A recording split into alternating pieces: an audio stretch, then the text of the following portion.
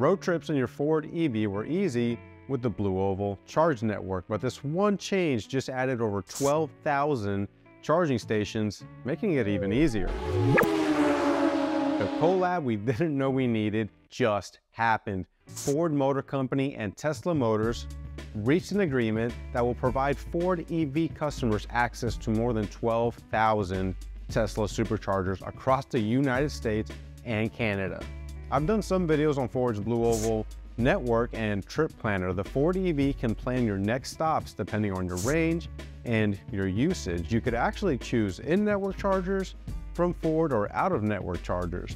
Now this was a feature that was handy, especially if you're traveling really long distances and need to pre-plan your stop so you can get that optimum charging. The longer the distance, the more range anxiety. This merger brings that range anxiety way down. And Ford CEO Jim Farley said, widespread access to fast charging is absolutely vital to our growth as an EV brand. And this breakthrough agreement comes as we are ramping up our production of our popular Mustang Mach-E and F-150 Lightning and preparing to launch a series of next generation EVs starting in 2025, which is right around the corner.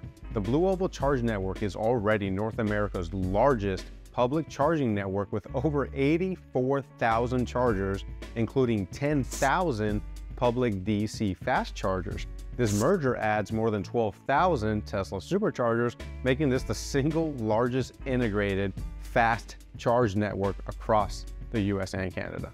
It looks like the future of travel is changing. Will gas stations be a thing of the past? Can you imagine an EV station the size of a Buc-ee's filled with nothing but fast chargers? So if you're a Ford EV owner, you know the charging connectors are different between Ford and Tesla. For example, Ford uses a CCS port and Tesla uses an NACS port. CCS stands for Combined Charging System and NACS stands for North American Charging Standard. According to Motor Trend, Ford will include NACS connectors in its EV starting in 2025.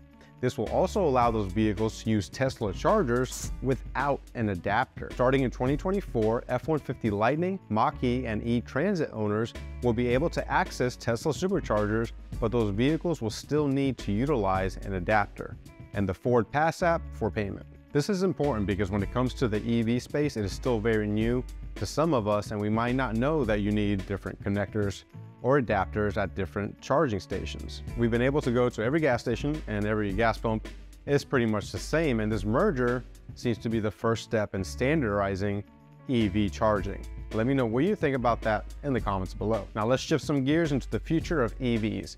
The Lightning is the pickup truck. The Mach-E is the Mustang crossover and the E-Transit is the package workhorse, but there still isn't a full-size three-row SUV EV yet. Ford's three-row electric SUV is in the works and Ford says it's going to be unlike anything in the segment. According to Motor Trend, the Expedition-sized EV will debut in 2025.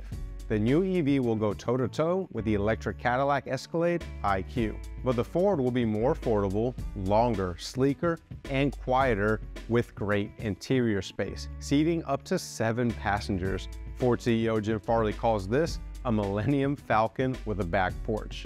All right, guys, it's time for my favorite parts, the comments. So on this video, a closer look at our Raptor swapped Lightning suspension. You can check that out right here.